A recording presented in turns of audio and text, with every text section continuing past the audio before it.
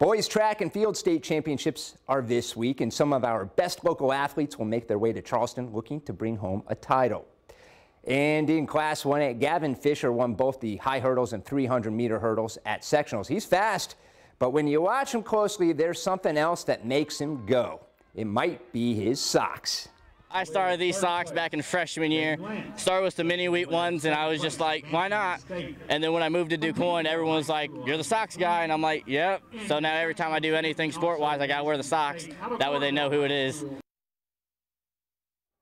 Also on Thursday, Goreville's Cole Rushing will be competing in the 100 meter dash. He won the DuQuoin sectional in a time of 11.15 seconds. Entering the finals meet, he has one of the top 10 fastest times. I feel really excited to be going to state, especially as a senior. I think I'll leave a good last mark on my high school career, and I'll be excited to get to run to state and compete against those worthy advocates. In the Class 1A 3,200 meter run, Carmi White County's Ty Barbary qualified for the race, and DuQuoin's Landon Swinney won the DuQuoin sectional and enters with the eighth best time of 957.30. Now on Friday in Class 2A, Carterville will be represented with Preston Summers in the 100 meter dash.